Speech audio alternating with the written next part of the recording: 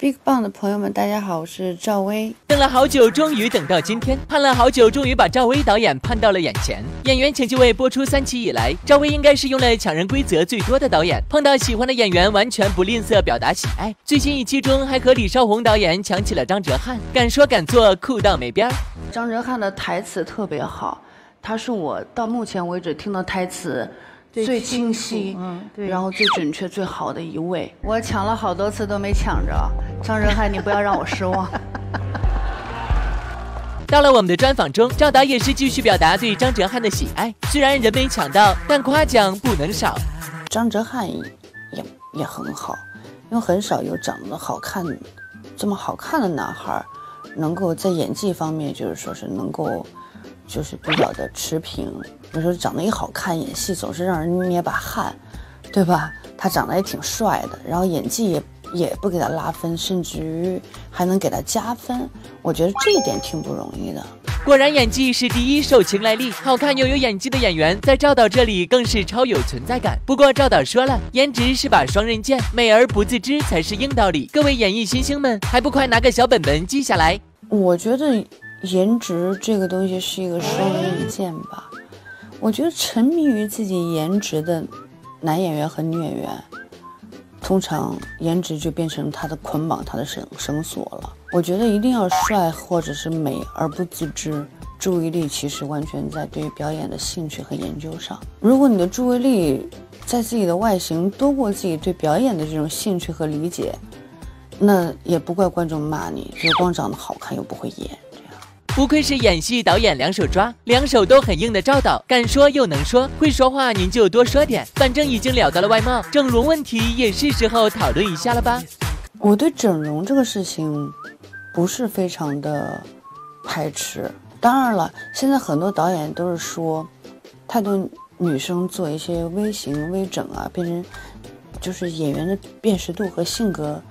就是个性化的面孔越来越少。你说导演要拍一部戏，他希望形形色色的面貌的人来呈现的时候，他就会觉得怎么长得都差不多。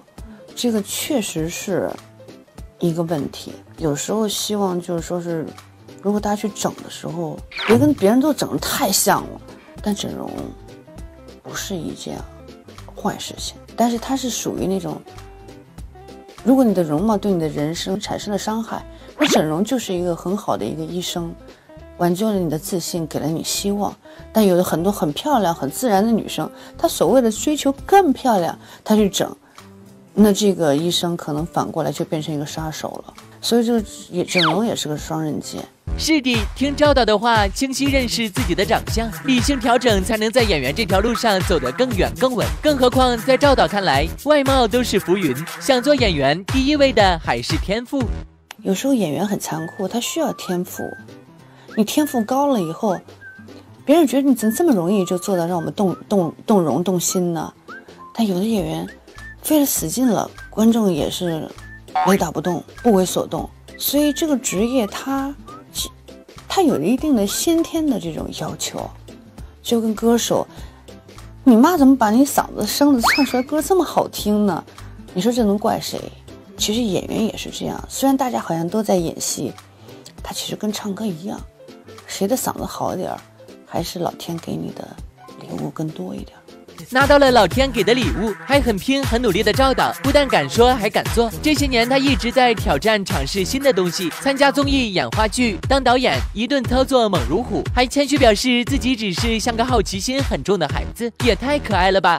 我的事业就是做事情，我的这种演员啊、导演啊，这一路以来，可能跟我自己喜欢求变有关系。我到一定程度，我自己会觉得我老重复太没意思了。